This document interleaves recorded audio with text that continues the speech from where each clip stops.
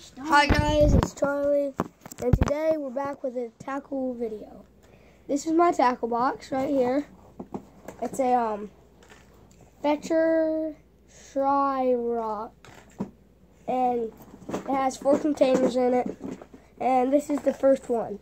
I call this my hard bait container because it has all my lures in it. So first, we have three crankbaits stuck together. We have this crankbait right here, medium diver. We have this one right here. This is ow. This is a um bluegill pattern one, and this is a I forget what color this is, but it's a square bill mini crankbait. And that is my crankbaits. Now let's move on to the top water. I only have two. I have a uh, popper right here. Uh. Has the feathers on the end, treble hooks, and it has very nice action. And then we have this fly right here. Very, very good um, detail on it. It's top water. And yeah. Then we're moving on to this. I have a big old jerkbait. Haven't really used this one yet. Little rusty hooks. And yeah. Oh, and you guys, if you guys didn't know, my friend Shane's over here. He's going to be in the video with me. Come here, Shane. Yep. Then I have the spinner bait. I'm not a big fan of spinner baits, but I just have one in my tackle box. I I have don't really like spin baits in your stuff. I have this Z-Man chatterbait, white. I trimmed the skirt a little bit, I think. No, that might have been the other one. But, nice one, Z-Man chatterbait. Then last, we have this buzzbait. It's a real old one. And, yeah. So that was a horde bait kit. Now, let's get on with another box. Let's see here. This is my jig box. It has all my jig stuff in it. As you can see, I have my sw- mm-hmm. swim jigs. I have all these swim jigs right here. I have some other random swim jigs right there. And then we have this crappie magic right here. Can't really see it. It's so tiny. I think they're supposed to imitate a cricket. So yeah. Then we have a um, Strike King jig, color green pumpkin, has a uh, Super Chunk Junior, has a trailer on the end, also green pumpkin color. Then we have this little furry thing. I don't even know what the heck that's called. If you know what this is called, leave in the comment section, please. Then we have these two things. These these float. Wait. Oh gosh. These float on top of the water, and it's a gray bluegill bait. Then we have all my skirts right here. Skirts. Black and blue. All of them are black and blue, and yeah, you have a yellow and black one in there. And then We have all kinds of blue we have jig heads.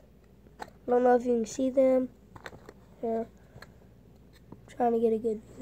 Let me show you. Um, we have that. Wait. We have these jig heads right there. And um, that's all. That's in the jig box. And then, last but not least, we have the hook box, hook and, And sinker sinks. sinks. Yep. So crap. Oh, and, and at the end of the video, we have a trick to show you with the hook. Yep. We sure do. And um, so right here we have all my uh. We have all my hooks. So first, we have the um panfish hooks in here. Let me get one out to show you. We have some panfish hooks, whole container of them.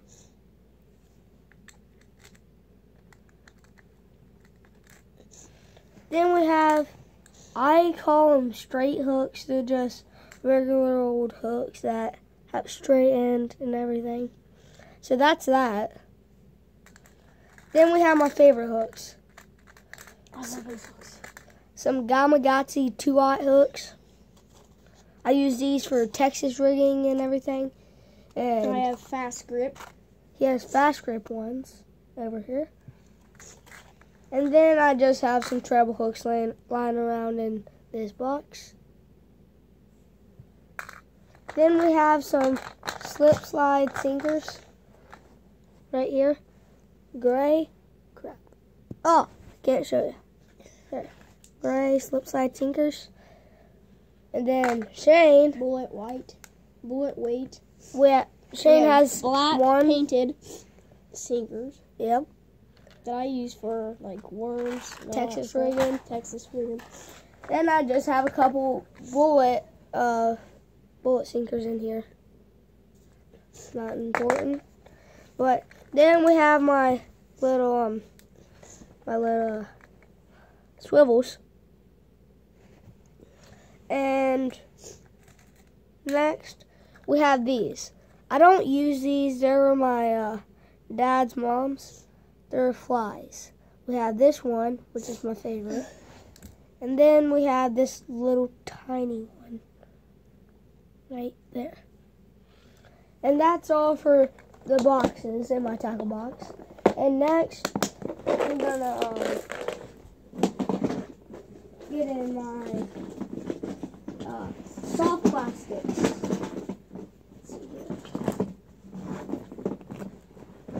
So, in here, oh, in here are my soft plastics. Right in this pocket, we have all of these. Ugh. I just have a couple um ones. I have a couple uh soft plastics laying around in there. So we have this salt. We have this tube jig. We have a crawdad, and um, we have another Zoom su- uh, salty super tube, which goes in this pack. Have some Zoom salty super tubes. I'll show you what they look like. Right here. Next, we have some uh, Strike King uh, shimmy stick worms. Color is green pumpkin. I'll show you what that looks like too. This is the worm right there. And that's the Zoom Shimmy Sticks Green Pumpkin.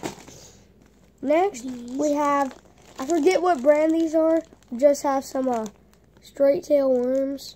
Colors black and blue. Black and purple, actually. That's what these look like. There you go. Next, we have some Yum Craw Bugs. Um, that's what those. And open this up for y'all. Oh my gosh. Freaking one of them stupid packages.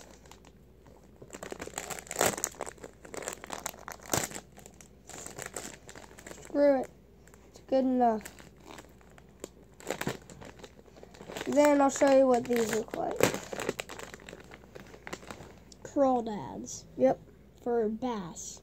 Yep, smallmouth bass, bass especially. Yes.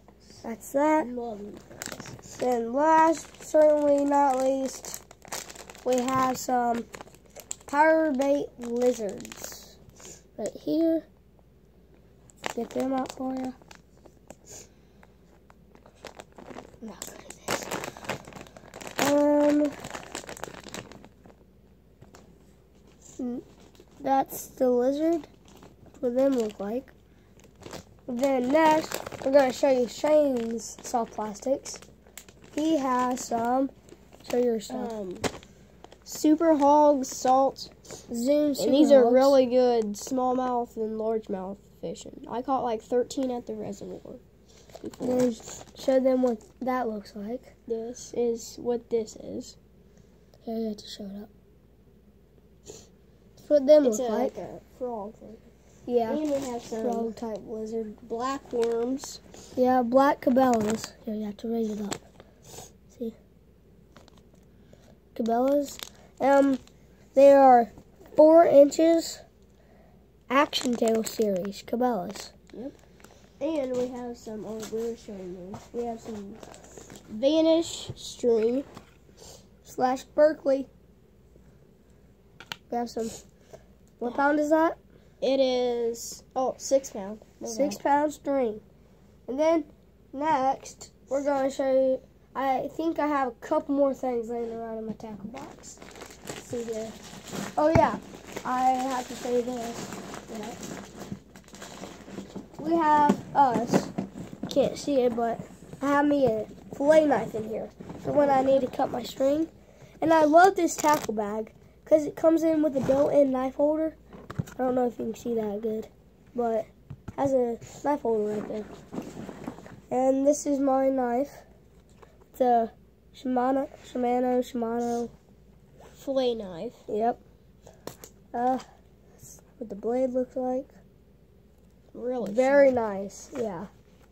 I've used this a lot. And just slip it in there, then Velcro it back in there.